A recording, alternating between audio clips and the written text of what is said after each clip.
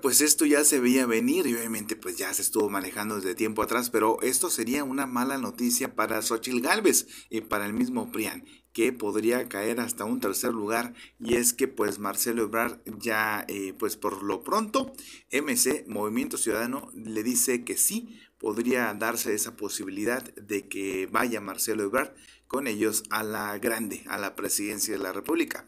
Vamos con la información porque definitivamente pues esto va a causar eh, conmoción en la derecha, en el PRIAN, porque van a querer presionar cada vez más, cada vez más a Movimiento Ciudadano, a Dante Delgado, para que se olvide de esto de, lanzar a Marcelo y que incluso hasta, pero bueno, incluso hasta una de las propuestas que tienen ellos es de que Marcelo, si se lanza por MC, decline a favor de Xochitl Galvez, cosa que se ve difícil, pero bueno, esas son las ideas que tienen ellos. Pero bueno, vamos con este asunto porque Dante Delgado, dirigente de dirigente nacional de ese partido MC Movimiento Ciudadano, dejó abierta la posibilidad de que Marcelo Ebrard sea su candidato presidencial para el siguiente año. Y es que en entrevista en el marco de la reunión de la Coordinadora Ciudadana Nacional de Movimiento Ciudadano, en la que se emitirá la convocatoria para todos los cargos de elección eh, del partido en los próximos comicios, fue cuestionado, se le preguntó sobre la posibilidad de que se registre como aspirante externo a dicha candidatura y él dijo, tenemos que aprobar las convocatorias y les vuelvo a decir y vean los documentos básicos, al menos 50%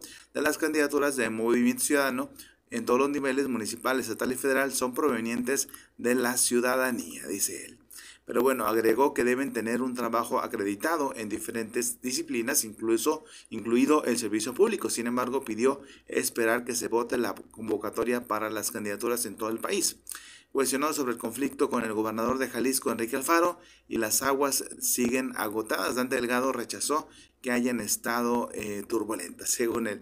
Pero bueno, dijo que eh, han existido eh, disensos, pero descartó una ruptura con Alfaro, con Movimiento Ciudadano. Pues siguen todavía los pleitos, nada más que pues obviamente no les conviene de que esto siga esto porque puede haber una fractura y sobre todo pues parte de que, aunque ya está, ¿no? Básicamente está fracturado ese partido en ese sentido, en lo interno, con Alfaro y todo esto, pero vamos a ver qué sucede y qué tanta posibilidad y qué tanta fuerza puede llegar a tener si Marcelo fuese. ¿Qué, opinan ustedes, amigos? ¿Les gustaría ver a Marcelo? ¿Creen que Marcelo vaya a tomar la decisión que se vaya por ese camino de movimiento ciudadano? ¿Seguirá haciendo daño ahí en Morena? ¿Qué hará Marcelo? Bien, déjenos sus comentarios.